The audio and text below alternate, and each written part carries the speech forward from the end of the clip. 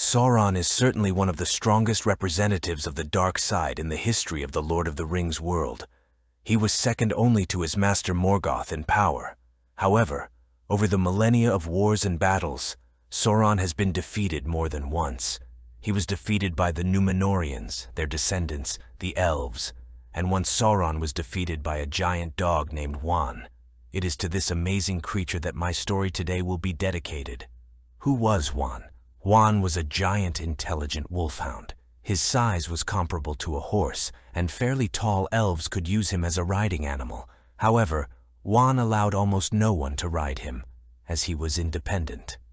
Tolkien had two versions of the origin of this dog. The first version was that Huan was one of the spirits of Maiar who had taken over the animal's body. From here come his abilities, about them, about them, a little later, and the mind. However, after a while, Tolkien abandoned this version and introduced another. According to the second version, Huan is an ordinary animal, which, however, was elevated by the spirits of the Valar so much that it gained reason. Something like the great eagles. The principle is the same. Huan was a member of the retinue of the Valar hunter Orome.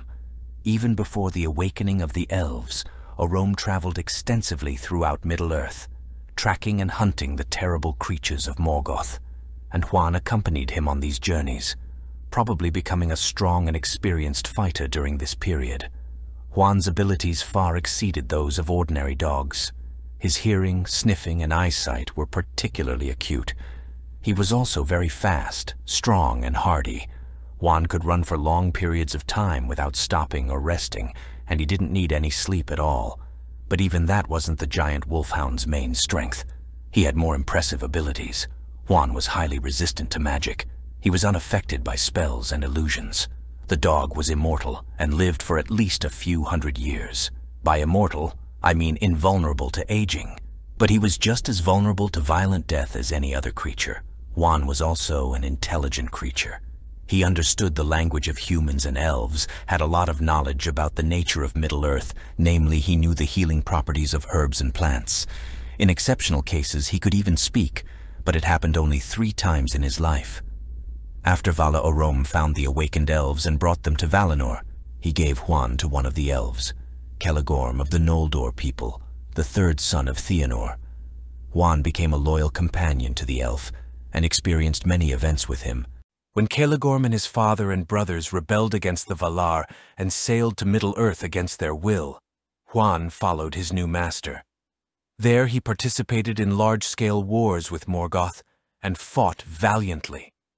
Celegorm eventually settled in the kingdom of Nargothrond, ruled by his cousin Finrod and then by his nephew Orodreth.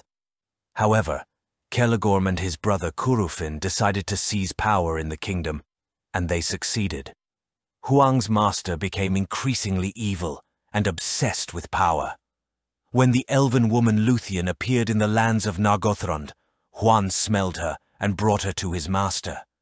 Celegorm fell in love with the girl, but she refused him, so he locked her away to marry her by force, and he put Huan in charge of guarding Luthien.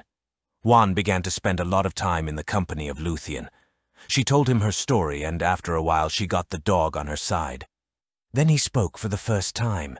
The dog felt compassion for her and helped her escape from the dungeon.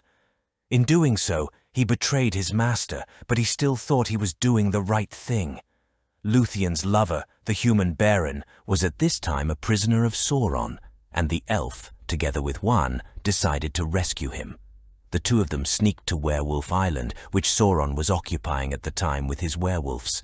There, Huan defeated all the werewolves in turn, and then Sauron himself took the form of a giant wolf and came out against him. Luthien, being a powerful sorceress, strengthened Huan with magic, and the Hound defeated Sauron in battle. The future Dark Lord fled in fear from the mighty Wolfhound.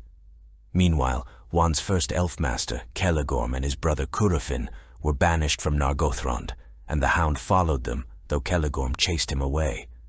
But on the way they met Luthien and Beren, as luck would have it. Celegorm and Curufin attacked them, but Huan saved Luthien again by shielding him from an arrow. He finally abandoned Celegorm and began to serve Luthien. Together with her and Beren, he set out to retrieve the Silmaril stone from Morgoth himself. It was Huan who eventually summoned the Great Eagles, who saved Beren and Luthien at a key moment. It was then that he spoke a second time. However, the Silmaril remained in Beren's hand, which was swallowed by the worst of the werewolf wolves, Carcharoth. Beren and Huan tracked it down and attacked it, but the monster was so strong that he defeated Beren. Then Huan entered the fray. The dog fought desperately and eventually managed to overpower the enemy. But he himself was too wounded and soon gave up his spirit before speaking for the third and last time. Thus ended the busy life of the intelligent wolfhound Huan in Middle-earth. If you were interested, don't forget to put a like and subscribe.